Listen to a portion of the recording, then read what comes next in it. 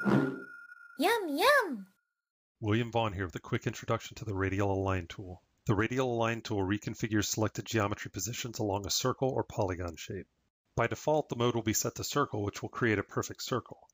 Switching to Ngon mode will allow you to create a shape with the number of sides of your choice. You can interactively change the size of the shape by clicking on the tool handle and dragging. You can also interactively change the angle of the shape by clicking and dragging in the viewport.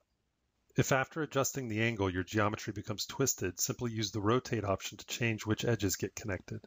It's good to know that radial align will also work with fall-offs. The tool also works with symmetry active. This tool is one of my all-time favorite tools in Modo, and I use it on 99% of the models I create. I hope you find it as useful as I do. Oh, look at the time.